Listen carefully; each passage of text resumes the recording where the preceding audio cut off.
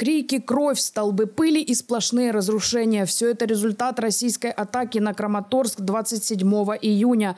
Первый удар был нанесен в 19.30 по киевскому времени по кафе в центре города, в результате чего под завалами оказалось порядка ста человек. На место трагедии незамедлительно выдвинулись экстренные службы. Российские паблики и пропагандисты сразу же начали распространять информацию то о корпоративе военнослужащих ВСУ, то о пребывании в здании иностранных наемников. Но что еще более невероятно, так это заявление Министерства обороны России. Во-первых, они фактически признали, что нанесли удар по Краматорску. Во-вторых, они заявили о поражении, цитата, пункта временной дислокации командного состава 56-й мотопехотной бригады ВСУ. Вот только каким образом в работающей популярной пиццерии мог размещаться такой пункт дислокации в российском Минобороны не уточнили. А одним из так называемых иностранных наемников оказался волонтер из Нидерландов. Огонь, э, дым, люди лежит на пол, люди попробуют уезжать, много кричат. Um, it was very, very heavy and uh, we are very lucky to be alive and uh, I'm not sure if everybody survived. Я не знаю, или все живут. Реалии нашей жизни Донбасса. Ja, это Донбасс. Мы уже видели результат, но сейчас мы видели сам, как это есть. На момент публикации видео известно об 11 погибших, 61 человек пострадал. Среди погибших есть и несовершеннолетние, трое девочек 17 и 14 лет. Также ранение получил ребенок 2022 года рождения. А ты видел бэби? Э, там маленький бэби был. Видели? Да, и он внутри там. Мы пытались, мы ломали крышу вот эту из асфальта, чтобы туда долезть.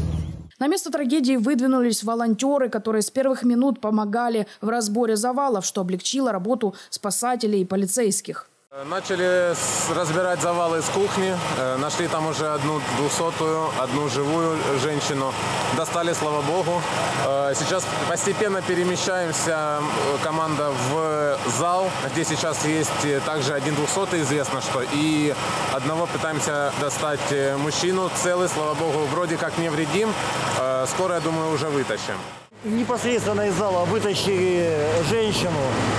Скорее всего, нога сильно травмирована, а так нормально. Рядом возле нее 200 лежит, но пока его не трогают, он под плитой. Сейчас кран работает, будем вытаскивать. Дальше в подвале обследовали, вроде бы больше никого нет, но пока идут работы, вы сами видите, что точно сказать невозможно. Никто не знает, сколько было людей в кафе. Ночью троих тяжело раненых людей отправили в Днепр, остальные же были доставлены в местные больницы. I'm okay.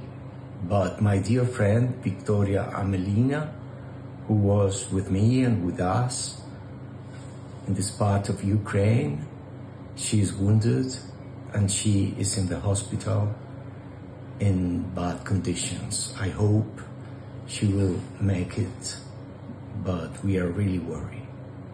В течение всего дня сотрудники ГСЧС пытались достать из подвального помещения людей, но конструкция здания затрудняла процесс разбора завалов. Роботи ще продовжуються, бо там ми бачили дуже-дуже така потужна плита монолитна, яку неможливо було протягом останніх 10 годин її розбити. Зараз наш бобкет її розбиває і сподіваємося, дуже сподіваюся, що ті люди, які там залишаються, значить дві години можуть бути живі. В итоге разбить плиту все-таки удалось. Давай, Вентиляция.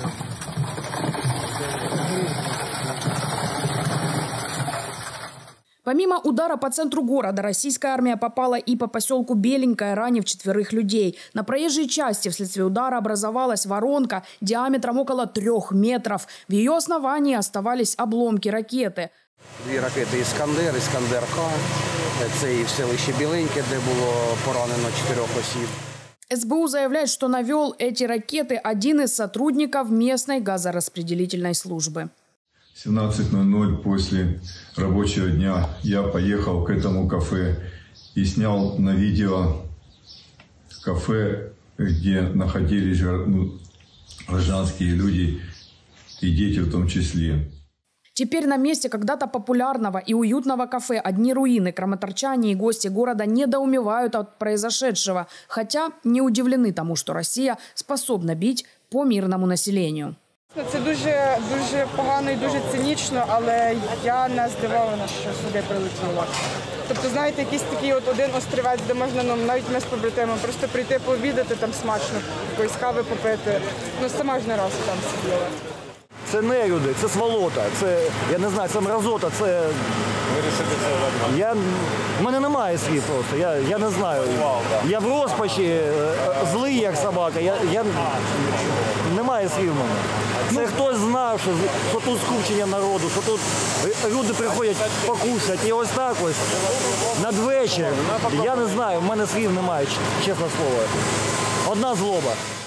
К сожалению, из-за близости фронта воздушная тревога не успела включиться. Такая ситуация не редкость для прифронтовых городов, таких как Краматорск, Херсон или Запорожье. Поэтому все находившиеся в помещении люди не успели перейти в укрытие либо покинуть пиццерию.